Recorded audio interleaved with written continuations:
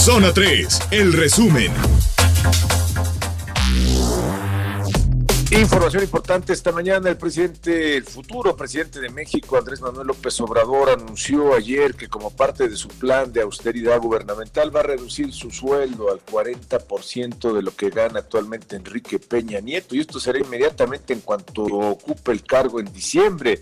Dice que lo que busca, lo que pretende es que el presupuesto llegue a todos, tendrá un ingreso mensual neto de 108 mil pesos y ningún funcionario de su gobierno va a ganar más. Dijo que quisiera bajarse todavía más el sueldo, pero no quiere provocarle resentimiento a los futuros miembros de su gabinete, que en algunos casos van a dejar el sector privado y cargos académicos en donde ganan más dinero para irse a trabajar con él.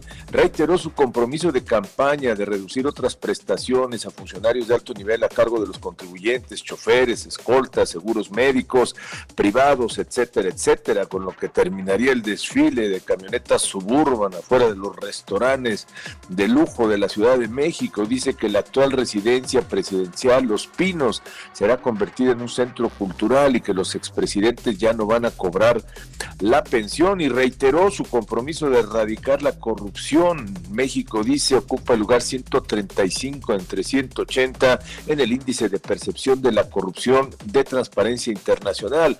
Los países con el número más alto tienen mayores niveles de corrupción. México es el 130 información que tiene que ver con Jalisco, la Dirección de Obras Públicas informó que los trabajos complementarios del puente peatonal ubicado en la avenida López Mateos a la altura del fraccionamiento Bugambilias van a concluir en tres semanas. Le metieron velocidad en cuanto empezaron las quejas y las denuncias de todos los que sufrían el atorón de tráfico ahí en López Mateos.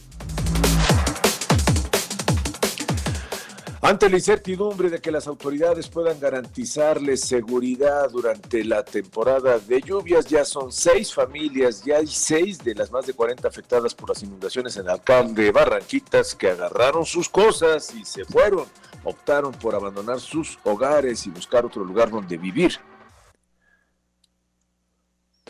La Comisión de Hacienda del Congreso del Estado aprobó que los municipios ya no puedan hacer peticiones de ampliaciones presupuestales, solo podrán hacer ajustes y ahorros, pero ya no pedir más. No hay reportes de que empresas quieran emigrar a otros países, que se quieran ir del estado de Jalisco hacia el extranjero después del triunfo de Andrés Manuel López Obrador en la elección presidencial. Esto señalan las autoridades económicas del estado, la Secretaría de Desarrollo Económico Jalisco. Zona Nacional. En información nacional, el fiscal desconcentrado de investigación en la delegación Álvaro Obregón en la Ciudad de México, José Antonio Escobar Plata, dice que continúan las investigaciones en el centro comercial Plaza Arts Pedregal, este que se derrumbó una parte y donde huele que detrás hay toda una historia de corrupción por parte de las autoridades para otorgar los los permisos y autorizar los peritajes. Dice que de encontrarse culpables por negligencia, estos podrían alcanzar una penalidad de hasta seis años. María Luisa Albores González, propuesta por Andrés Manuel López Obrador para ser la secretaria de Desarrollo Social, informó que a partir de enero va a empezar la homologación. Le van a dar la misma pensión tanto a adultos mayores como a personas con alguna discapacidad en situación de pobreza. Sería esta pensión de 1.245 pesos mensuales. El Servicio Sismológico Nacional informó que en la noche de ayer domingo se registraron dos sismos con epicentro en la Ciudad de México, uno de ellos con magnitud de 2.2. Zona Internacional. En la información del mundo, este lunes el presidente de los Estados Unidos, Donald Trump, sostendrá la primera cumbre, la primera cumbre formal con el presidente ruso Vladimir Putin, esto después de reconocer que ambos países pues no tienen muy buena relación.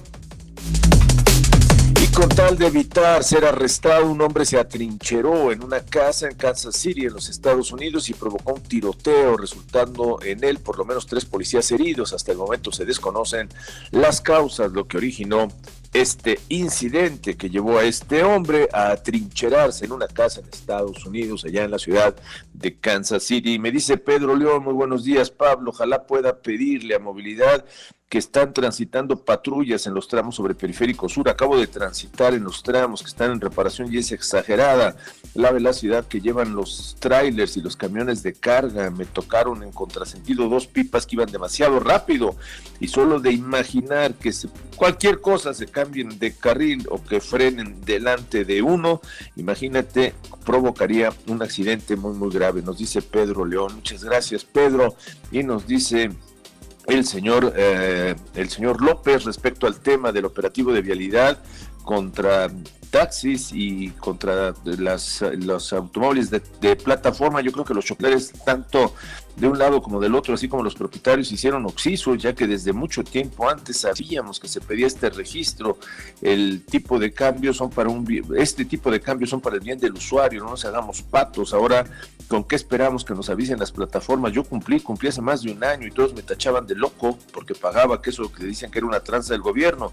Yo creo que debemos de cumplir lo que, se nos obliga a los trámites correspondientes, no se hagan los oxisos el día de hoy y seguramente pues usted circula con toda tranquilidad por las calles de la Gran Guadalajara. Muchísimas gracias, señor López. Son las 7 con 15.